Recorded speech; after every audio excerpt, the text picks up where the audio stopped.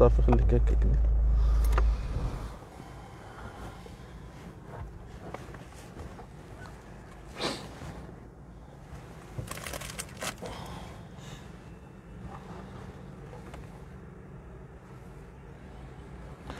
اذا صباح الخير وتحية طيبة لكل متتبعين ومتتبعات قناة شوف تي في من خلال هذا المباشر.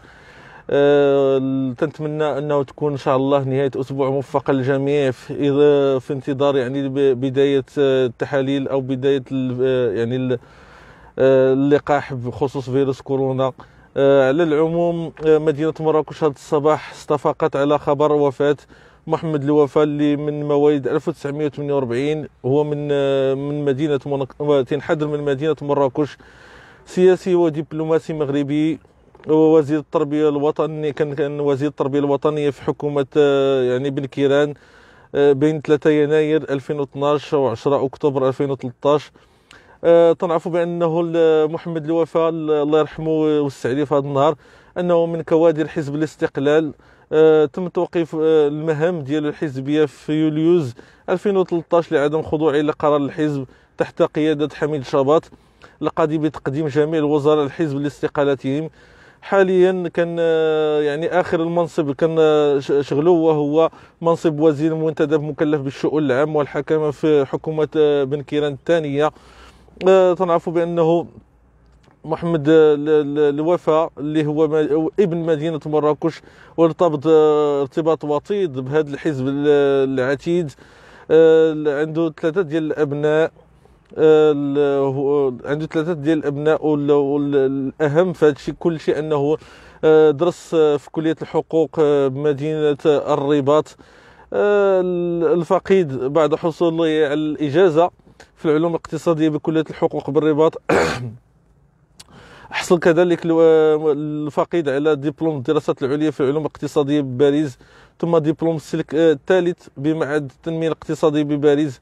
وفي 1976 شغل منصب أستاذ مساعد بكلية الحقوق بالرباط آه، كان الوفاء آه، انتخب نائبا برلمانيا ما بين 1977 و 1997 ترأس ما بين 1983 و 1992 المجلس البلدي لمدينة مراكش وتعرفوا في هذاك العهد بأنه مدينة مراكش يعني الأهمية بأنك باش تكون آه، في هذيك الظرفية آه، آه، بين 83 و 92 تكون يعني عمدة مدينة مراكش وهو عضو في اللجنة التنفيذية لحزب الاستقلال من 1992 حتى كما سبقنا وذكرنا حتى 2013 هنا باش تعرف القيمة ديال ديال المرحوم آه، بخصوص حزب الاستقلال. تولى الوفاء أيضا منصب كاتب العام للشبيب الاستقلالي ما بين 1976 و 1984 كما ترأس الاتحاد العام لطلبة المغرب وشغل الوفاء ما بين 2000 و 2004 منصب سفير المغرب بالهند قبل أن يعين سفيرا في إيران سنة 2006 ثم سفيرا للمملكة في البرازيل. وبعد انتخابات المغرب سنة 2011 تم تعيينه رسميا في آه، في 3 يناير 2012 على رأس وزارة التربية الوطني والتعليم في حكومة بن كيران ممثلا لحزب الاستقلال تحت رئاسة عباس الفاسي في تحالف حكومي. وفي يوليوز 2013 قرر الأمانة العامة لحزب الاستقلال وهي تحت قيادة حميد صباط توقيف محمد الوفا من مهامه وبرز الحزب موقفه هذا بسبب مخالي المشاكل اللي كانت يعيشها مع في الأنظمة ديالو واللوائح ومساهمته مبادئه وأهدافه آه، بطبيعة الحال. آه، استفاد الوزير الوفاء آه، بتقديم يعني المجموعة من التضحيات بالنسبة لهذا الحزب هذا اللي تعتبر من الأحزاب المهمة آه، في المغرب على آه، بصفة عامة. على العموم آه، اليوم بطبيعة الحال ناكدوا لكم متتبعين بالنسبة للناس اللي تيسولوا الأخبار المتداولة بأنه محمد الوفاء لوزير الوزير السابق في حكومة بن كيران وفاته المنية بسبب الفيروس كورونا اللعين. إنا لله وإنا إليه راجعون. العموم محمد الوفا اللي من مواليد 1948 بمدينة مراكش وهو سياسي ودبلوماسي مغربي محنك. آه، ومعروف لدى المغاربة بهذيك القشابة ديالو المراكشيه يعني وقت ما كان تيدير يعني شي تدخل سواء آه، يعني في إطار آه، الأسئلة اللي كانت يطرحوا عليه الصحافة.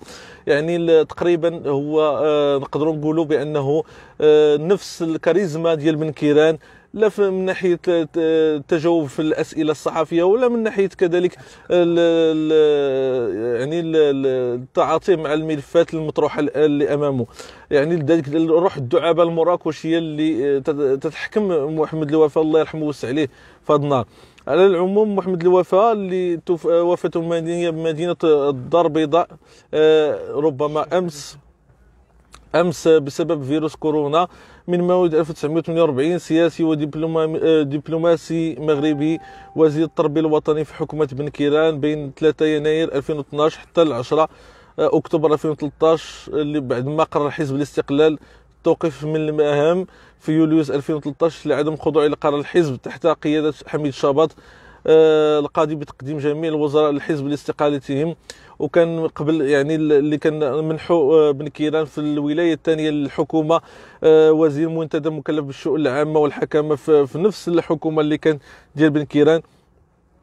الفقيد حصل على الإجازة في العلوم الاقتصادية بكلية الحقوق بالرباط وحصل على دبلوم الدراسات العليا آه، في العلوم الاقتصاديه بباريس ثم دبلوم الثالث بمعهد التنمية الاقتصادي بباريس بطبيعة الحال.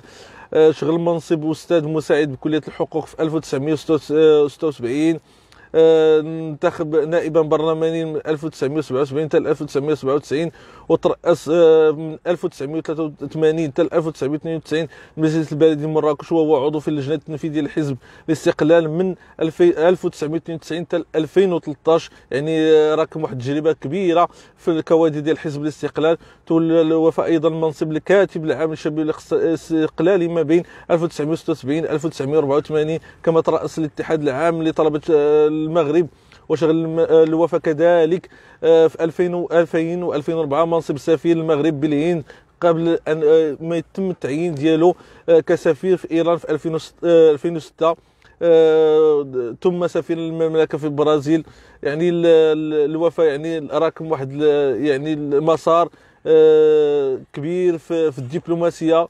وكذلك في المسار السياسي العموم ما بقى نقول لكم إنا لله وإنا إليه راجعون. تغمد روح الفقيد والله يصبر العائلة ديالو الصغيرة والكبيرة. ابن مدينة مراكش آه اليوم يعني صفقت مدينة مراكش وهو ابن مدينة مراكش على وقع وفاة محمد الوفاء ابن مدينة المشهود يعني هو من كوادر حزب الاستقلال.